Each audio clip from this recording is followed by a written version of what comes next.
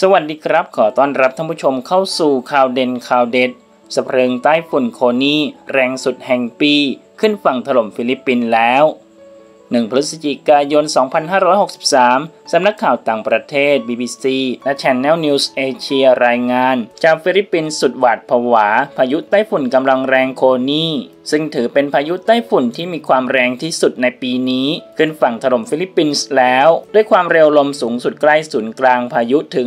225 กิโลเมตรต่อชั่วโมง และความเร็วลมกระโชกแรงสูงถึง 310 กิโลเมตรต่อชั่วโมง สำนักอุตุนิยมวิทยาฟิลิปปินส์แจ้งเตือนภัย พายุไต้ฝุ่นได้ขึ้นฝั่งเกาะกาตันดัวเนส เมื่อเวลา 4นาฬิกา50 นาทีของวันอาทิตย์ที่ 1 พฤศจิกายน ตามเวลาท้องถิ่น จากนั้นไต้ฝุ่นโคนีได้ขึ้นฝั่งครั้งที่ 2 ทางตอนใต้ของเกาะลูซอน ซึ่งเป็นเกาะสำคัญของฟิลิปปินส์และเป็นที่ตั้งของกรุงมะนิลาเมืองหลวง โดยสำนักอุตุนิยมวิทยาฟิลิปปินส์ได้เตือนประชาชนให้ระวังอันตรายจากพายุไต้ฝุ่นโคนีที่ก่อให้เกิดฝนตกหนักมาก ลมกระโชกแรง น้ำท่วมฉับพลัน โดยเฉพาะจังหวัดต่างๆ ในเขตบีโค รวมทั้งเมืองเกซอน ลากุน่าและบาตังกัส เจ้าหน้าที่ฟิลิปปินส์ได้ดำเนินการอพยพประชาชนเกือบ 1 ล้านคน ซึ่งอาศัยอยู่ในพื้นที่เสี่ยงภัย ไปอยู่ที่ศูนย์พักพิงชั่วคราวเพื่อหลบภัยพายุแล้ว ก่อนที่พายุไต้ฝุ่นโคนีจะเคลื่อนตัวมาถึงเกาะกาตันดัวเนส และอัลเบย์ในเขตบีโค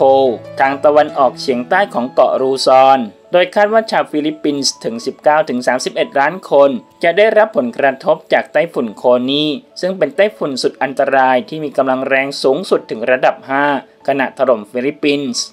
ท่านผู้ชมละครับ มีความคิดเห็นอย่างไรกับเรื่องนี้ลองแสดงความคิดเห็นกันเข้ามาดูนะครับ